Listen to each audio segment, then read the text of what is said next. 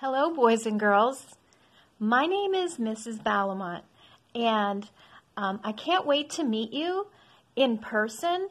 But until then, um, we will talk a little bit, and and you can listen and get to know me a little bit.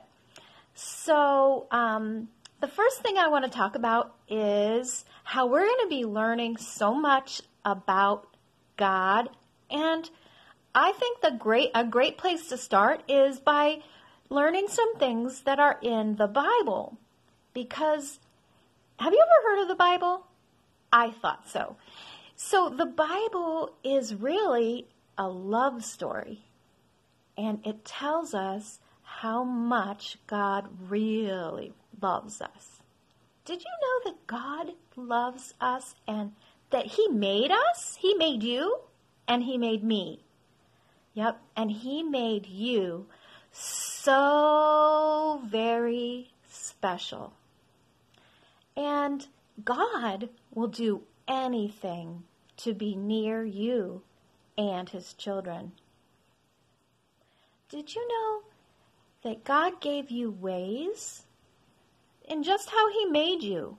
He made you so that you have ways to learn about Him and His love. So let's see if you can think of some of these ways. I'll give you a clue. I can use my eyes for seeing. And so God gave me my eyes so I can learn, right? What else did God give us?